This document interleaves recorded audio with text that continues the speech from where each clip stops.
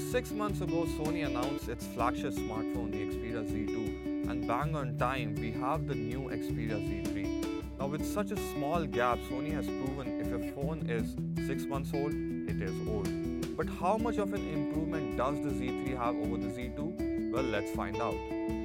Hey everyone, this is Kunal from Digit, uh, and today I have the Xperia Z3 with me. Now, Sony didn't do so well with the Z2 six months back, but uh, this new smartphone, uh, although it's not a huge upgrade, but it is slightly different from the Z2.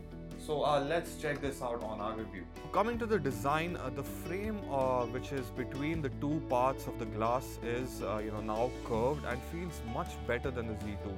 We have the same 5.2 inch full HD display which is much brighter and uh, Sony claims that you know it's about 600 nits and it almost looks like an AMOLED display. The edges are now more curved as I said and more subtle. Uh, even the flaps covering the ports and slots, uh, you know, they blend very well with the whole edge and the body. The rest port placement is what we saw in the Xperia Z2, it's exactly the same. And the back is also exactly the same. We have the same uh, glass panel with the 20.7 megapixel camera, uh, an LED flash, some Sony branding, and of course the NFC logo. And of course, uh, the smartphone is waterproof and dustproof.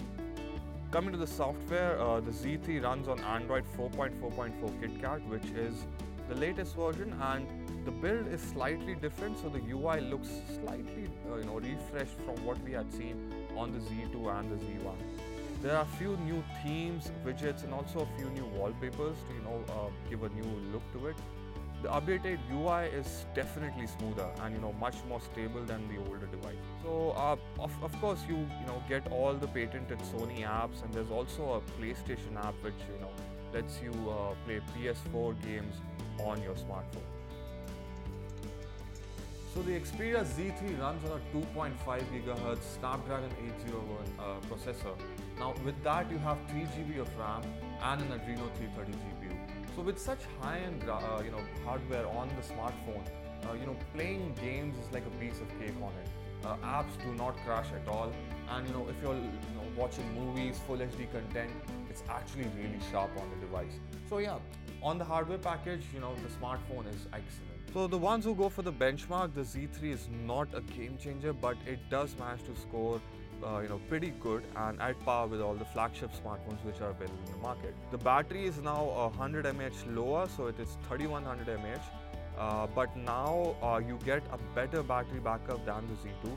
You got almost one and a half day of you know normal usage out of it. The audio and the video experience on the smartphone is quite good and a delight. Of course, Sony is always good with the camera department. Now this again comes with a 20.7 megapixel sensor along with the G lens, which was seen first on the Xperia Z1.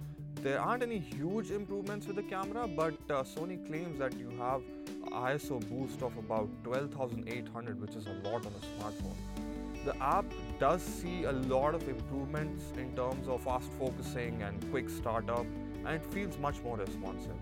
There are a few more modes as well. Of course, uh, the camera does warn you uh, because it can heat up when you're recording extensive 4K videos. And uh, in case it heats up, do not put it in water.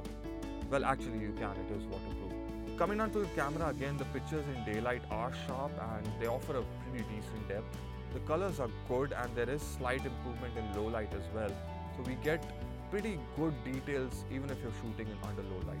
Now the Xperia Z3 is not a huge upgrade from the Xperia Z2. There is a slight bump in design and a slight bump in uh, the hardware. But uh, you know, if you would like to go for a flagship smartphone, then you know this smartphone will suffice your needs. If you want a good battery life, if you want a good performance package, and especially the camera, it's quite good. And on top of that, you get waterproof and dustproof certifications. So this makes a very good deal for the Xperia Z3. Uh, if you're looking for other options, there is the you know HTC One E8 or the M8. Uh, you can also go for the iPhone 5s, which has now come down to 35,000. So uh, there are a lot of smartphones in the range, but uh, if you like a Sony device, I think the Z3 is one of the best options available.